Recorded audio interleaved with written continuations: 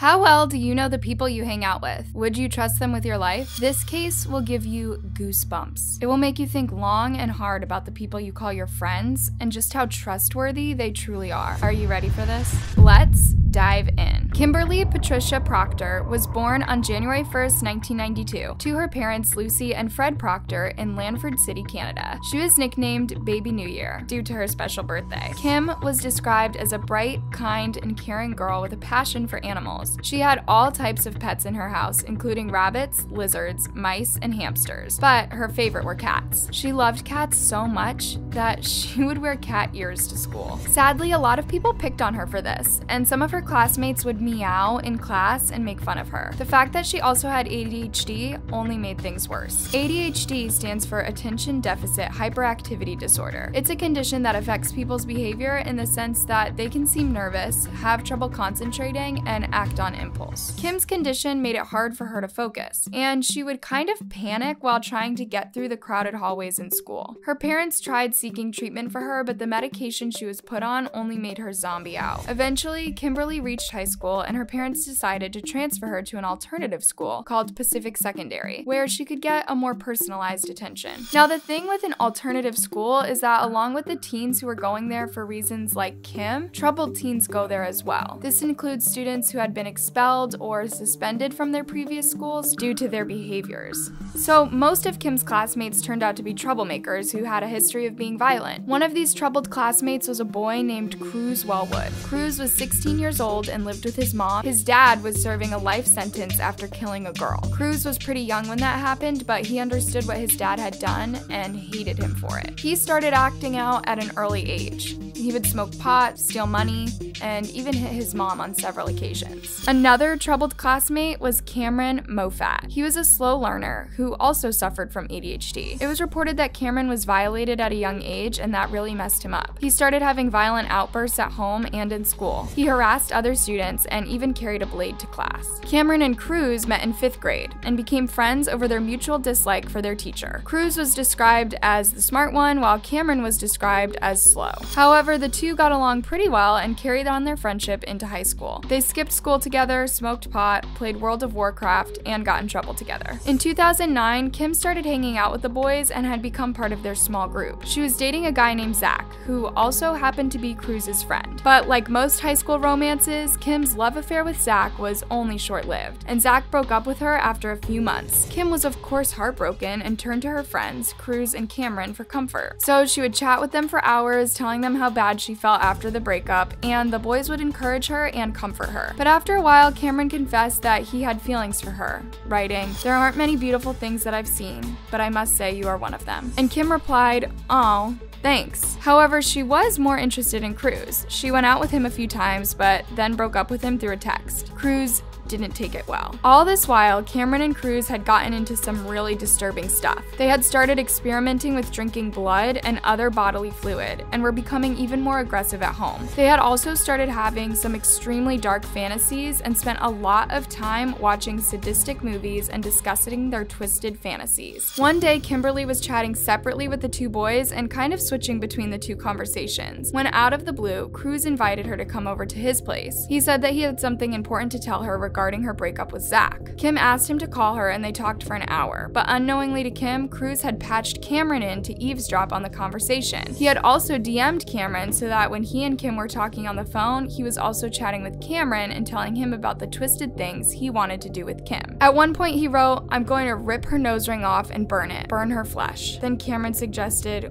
why not keep her bound and alive? Kruse agreed and said that he was going to get her high first. They went on back and forth, planning where they were going to carry out their sick plan. That same day, Kim had found out that she had acquired enough credits to graduate from high school, so she was in a good mood. She was also looking forward to an opportunity to volunteer at a local wild animal center called Wild Ark. On March 18, 2010, Kim's mother kissed her goodbye before going to work and told her that she loved her. Kim didn't have any classes that day, so she got to sleep in. She planned to babysit in the afternoon and then come home to sew her graduation dress. However, before babysitting, Kim figured she would just meet up with Kruse and Cameron for a few hours. She got up and went to meet her friends. Cameron and Kruse met her at the bus stop, and the three of them chatted and hung out for a little bit before heading over to Kruse's house. Everything seemed normal, and Kim had no reason to suspect that her friends wanted to harm her. Earlier, Kruse had told Cameron that when he was ready to attack, he would use the code phrase, I think I'm gonna make some KD. KD is what Canadians call Kraft mac and cheese. So, as soon as they got to the house, Kruse gave the signal and the two boys pounced on Kim. They knocked her to the ground, stuffed a sock in her mouth, and wrapped it with duct tape. They then tied her up and beat and tortured her for hours. Kimberly would later die of suffocation. But even after she stopped breathing, these two monsters continued to do some really despicable things to her. Later, they chopped her into pieces and put her in the freezer. But the most disturbing thing about all of these is that at some point during the attack, Kruse had time to try and cover his tracks by sending some messages to Kim asking her if she was done babysitting. That's just insane. And then later that evening, Cameron also texted an ex girlfriend asking her to sneak out and meet him at Kruse's house. Thank God she refused to go, or she probably would have met the same fate as Kim. The next morning, Kruse and Cameron took Kim's remains, put them in a hockey bag, and took the bus to Galloping Goose Trail. Then they carried the bag into the woods and lit it on fire under a bridge. After that, they went back home and continued on with their lives as if nothing happened. Kruse spent the rest of the day at home with a girl he had been dating, while Cameron had brunch with his mother and grandmother, who later took him to buy a video game. Meanwhile, Kim's parents were desperately searching for their daughter. Her calls were not going through, and she was not the type to spend the night away from home. They alerted the police, who immediately started searching for her. At around 7 p.m. that night, a group of friends was hanging out at the bridge when they came across charred human remains. The remains were burned to the point that they were completely unrecognizable, but dental records later confirmed that it was Kim. More than 40 investigators were placed on the case, and they immediately started digging around for clues that would help uncover who did this. At this point, they had absolutely no idea of who could have done such a despicable thing. She was just a normal teenager and had no real enemies who would want to harm her. Kim's family and friends had set up a public memorial page on Facebook, which investigators closely monitored. The visitors on the page started sharing theories of what they thought happened and who might have been responsible. The cruel nature of this crime shook the entire community and was all over the news. Kruse was trying to be careful not to say anything that would implicate him, but he still felt he needed to share his story with someone he trusted. So on March 23rd, five days after the brutal incident, he told his gamer girlfriend that he had something urgent to tell her. He said that he would only do it over the World of Warcraft chat room, since he thought the chats there are not monitored. He confessed the entire thing to the girlfriend and even sent links to the news reports as backup. As you can imagine, the girl was totally shocked, but she knew what he expected her to say, so she just told him, I'll always be here no matter what you do. Then Cameron also came to the chat and confirmed Kruse's story. When the girl asked him if he felt sorry for Kim's family and friends, he replied, No, I don't feel bad for them. After the incident, Kruse continued to go to school, though he had a lot of weird outbursts. One time he overheard someone talking about Kim and how they missed her, and he just lost it. He stood up and started screaming, I'm glad she's dead. I hated her. All this while, Cameron and Kruse were frequently talking about the ongoing investigation, and they actually thought that they had gotten away with the crime. On one occasion, Cameron wrote to Kruse saying that since they'd gotten away with the first crime and it wasn't that hard, they should do it again. That's messed up. But the two were finally arrested and charged with first degree homicide and indignity of human remains. The investigators had gathered a mountain of evidence from all their online activities that amounted to 1.4 billion pages of paper. During the police interrogation, Cameron tried to withhold information and toyed with the investigators, saying he's not ready yet to tell them what happened to Kim. telling you the truth. I'm just not telling you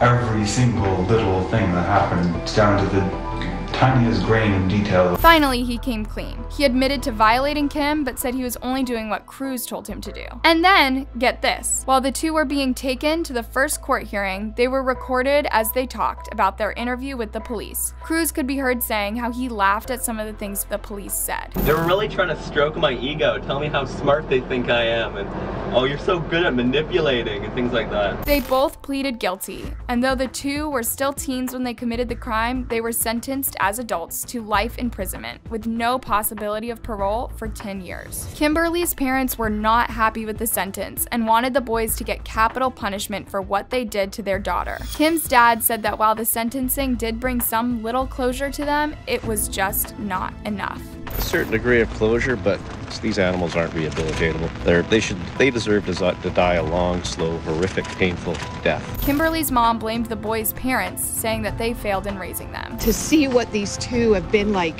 and to totally ignore it, well, you know, as a parent, you failed. And I totally agree with them. What these two did to Kimberly is beyond evil, and the fact that they didn't even show some remorse, it's just sick. But unfortunately, there's no death penalty in Canada, and this is the maximum sentence they could get given at their age at the time. So now Kim's parents just have to live with the fact that one day their daughter's killers might go free. And this almost came true in May 2020 when Kruse applied for parole. Luckily, his request was denied, and he has to wait another five years to apply again. Psychiatrists have diagnosed both boys as psychopaths, and they've shown that they will probably never change. I just hope that they never get out, because if they do, they'll most likely do what they did to some other girl. As for Kimberly's family, I hope that their pain goes away with time, and that they at least learn to be happy. That's the end of our video today. What do you think about this case? Do these two deserve parole? Let me know your thoughts down in the comment section.